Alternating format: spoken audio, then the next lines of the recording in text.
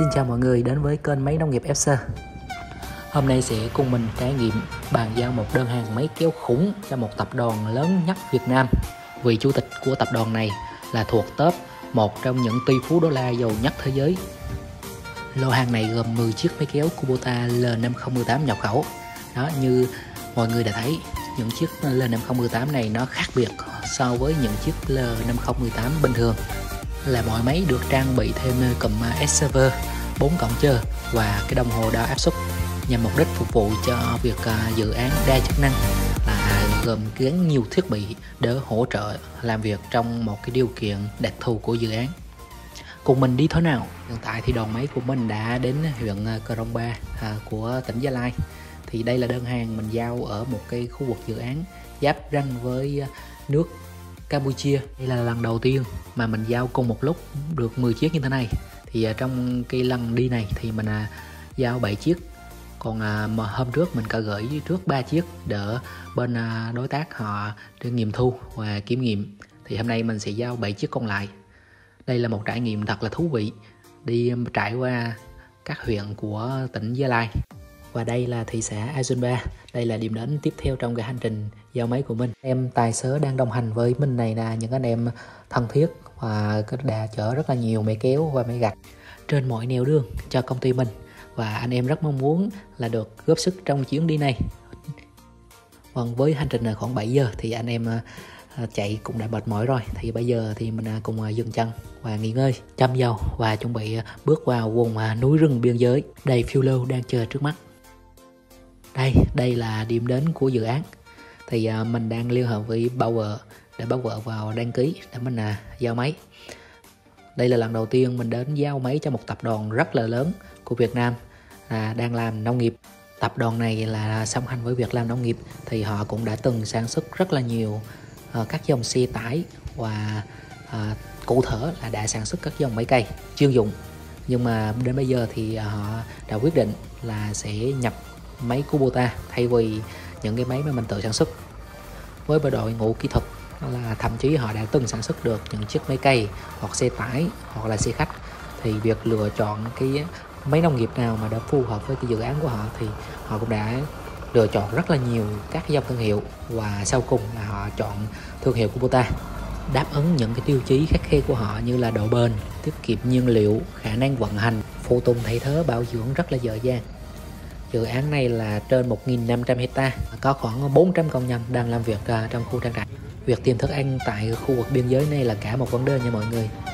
Đây là một quán ăn nhỏ cung cấp thức ăn tạm thời cho công nhân trong ờ, khu vực này. Nhờ vậy mà đầu mình cũng có cái chút gì đó đưa vào bụng. Đây là khu vực ờ, mình bàn giao máy. Nào, cùng xuống xe thôi mọi người ơi. Hãy mọi người đã thấy thì xung quanh trang trại này dùng rất là nhiều máy nông nghiệp hiện đại đến từ các thương hiệu hàng đầu ở châu Âu như là John Deere. Thì chiếc John Deere mà mọi người vừa thấy thì trị giá theo như anh quản lý cho biết thì trị giá khoảng tầm 7 đến 8 tỷ. Lần này thì à, chuyển qua sử dụng dòng máy uh, à, Kubota.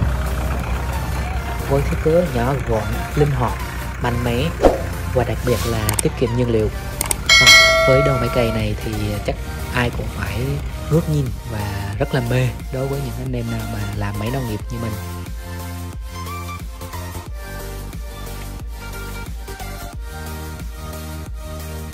À, vâng đây là chiếc máy của John Deere thì trị giá của chiếc máy này là tầm 12 tỷ đồng nha mọi người. Và đây là khu vực uh, nghiệm thu test mẫu một trong những cái chiếc máy mà mình đang giao hàng. Với đội ngũ kỹ thuật của họ thì tất cả những cái thiết bị và trình độ kỹ thuật để mà kiểm tra một chiếc máy đạt yêu cầu và chất lượng thì cái đó, cái điều đó thì mọi người không cần phải bàn cãi nữa. Vâng đây là máy à, bón phân, đồng thời là máy phun thuốc luôn. Thì được liên kết với máy à, Kubota L5018 và móc treo 3 điểm và sử dụng à, công suất của BTO đây với đội ngũ kỹ thuật của bên họ thì họ test rất là kỹ. Máy kéo L5018 thì cần có hai số sới hay là gọi là hai cấp độ BTO là 540 vòng và 750 vòng trên phút. Để cho nó phù hợp với cái thiết bị máy tưới bón phân của họ, thì à, họ phải kiểm tra, và cái à, công suất để làm việc nó hiệu quả như thế nào.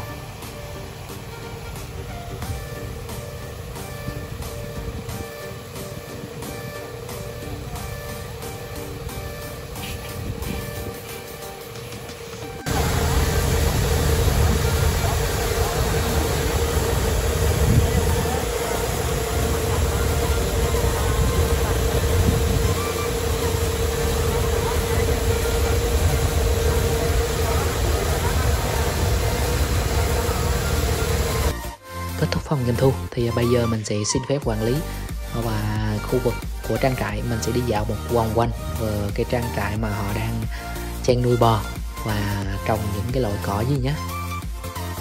Phần với diện tích à, trên 1.500 hecta thì à, họ chia ra rất là nhiều phân khu để nuôi bò.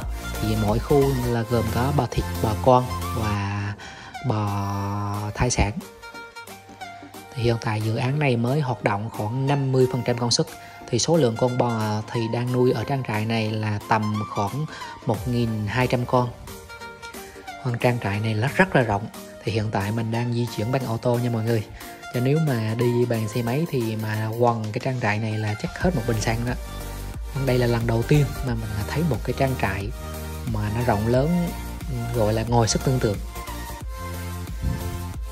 Tất cả các hệ thống nuôi như thế này là đều là thuộc à, quy mô công nghiệp và sử dụng bằng máy. Những trang trại mà người ta làm như thế này thì mức độ đầu tư phải tầm hàng nghìn tỷ. Còn những khu vực trồng cỏ ở đây là tất cả đều thực hiện hệ thống tưới và bón phân tự động và sử dụng nguồn nước mạch mà dự án đã khảo sát. Đây đây là trang trại mình vào đây là trang trại à, bò thịt. Hành trình giao máy của mình à, đến đây à, là kết thúc thì mọi người có tò mò mà muốn biết được những chiếc máy kéo của mình làm những công việc gì, thì hẹn mọi người video sau nhé. Mọi người nhớ đăng ký kênh để khi có video mới thì sẽ nhận được thông báo nhé. Xin cảm ơn và hẹn gặp lại.